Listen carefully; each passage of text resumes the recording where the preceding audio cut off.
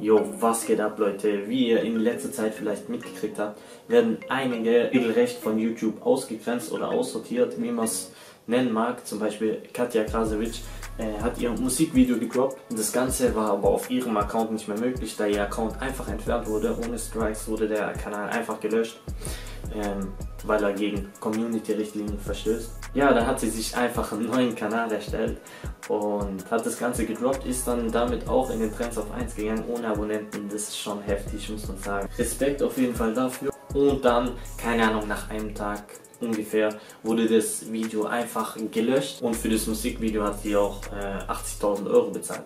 So, bei Mois ist jetzt die Geschichte, dass er ganze Zeit Strikes reingedrückt bekommt und ja, die haben ihm jetzt einfach den Abo-Button weggenommen. Das ist schon heftig.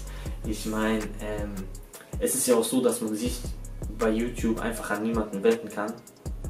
Ihr könnt eine E-Mail schreiben, aber wann wird darauf geantwortet? Nach einer Woche oder so kriegt ihr mal eine Antwort.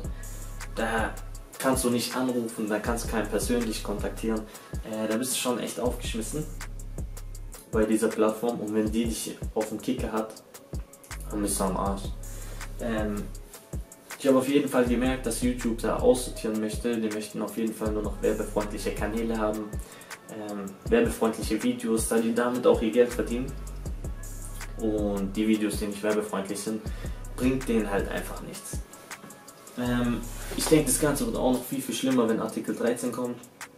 Das Ganze ist jetzt nur äh, von YouTube aus. Aber das wird auf jeden Fall noch heftig. YouTube ist auf jeden Fall nicht mehr das, was mal war. Ja, schreibt mal in die Kommentare, was ihr davon haltet, dass YouTube sich so verändert hat. Es gibt leider keine Alternative, wo man derzeit eigentlich rübergehen könnte und dort seine Videos ja, hochladen könnte. Wenn mal eine Alternative von Amazon oder so auf den Markt kommen würde, ich denke, da würden schon einige mitziehen. Ich meine, wenn die Leute mit 1 Million, 2 Millionen Abonnenten da rüberziehen, ähm, zieht es schon einige Zuschauer auch mit sich. Ähm, und ich glaube, erst dann checken die das. Jetzt hat YouTube einfach diese Monopolstellung und die können machen, was die wollen. Und die Leute sind auch noch darauf angewiesen, da mitzuspielen. Denn ich denke, die meisten sind einfach selbstständig, äh, machen nur ihre YouTube-Videos und leben davon.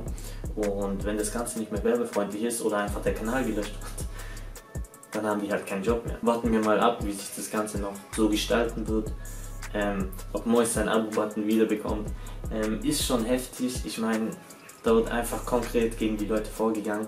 Zum Glück ist es bei mir nicht so, aber das betrifft auch eher irgendwelche berühmteren Personen, die sie da auf jeden Fall ausgrenzen möchten. Das ist halt das Problem an YouTube. Äh, ist einfach nicht mehr das, was es mal früher war, äh, nämlich Broadcast Yourself. Und das ist halt den das ist es halt nicht mehr. Es ist einfach nur noch, macht das, was ich euch vorgebe. Ja, ist schon traurig, aber man kann es auch bis jetzt in diesem Sinne einfach auch nicht ändern. Warten wir einfach mal ab, was die Zukunft bringt. Und ja, wenn euch das Video gefallen hat, lasst auf jeden Fall ein Like da. Ja, folgt mir auf Instagram und vergesst nicht den Kanal zu abonnieren.